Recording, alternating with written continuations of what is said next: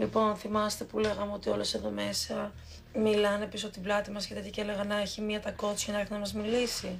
Ναι. Τε το βράδυ τι έγινε. Ήρθε η ώρα φαλιά στην κουζίνα και είπε ότι θέλει να μου μιλήσει. Δεν Θυμάσαι. θες να μου πεις λίγο καλύτερα τι Εγώ- έγινε εκείνη την ναι. ώρα; Μου λέει, άκουσα για, για σένα ότι κάθεσαι και λες ότι με έβαλε ο γκόμενός μου στο Next Top Model και τι είναι αυτά τα πράγματα. Καλά, ας χαλαρώσει λίγο. Με ποιον τα έχει αυτή; Ναι, αυτό τέλος πάντων.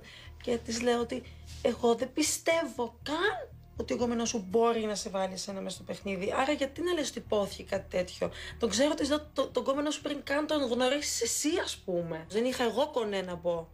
Που έχω κάνει κάποια πράγματα, έχω κάποιες νοημίε και θα έχει αυτή που ξεκίνησε τώρα το modeling. Απλά αυτό που θέλω είναι να μην χαλάει η διάθεσή σου τώρα από το κάθε κοριτσάκι. Μα δεν που... θέλω να λένε ότι της να πούνε κάτι σηκώνεται που στον λέω ναι, αλλά εγκέφαλο. όχι ψέματα.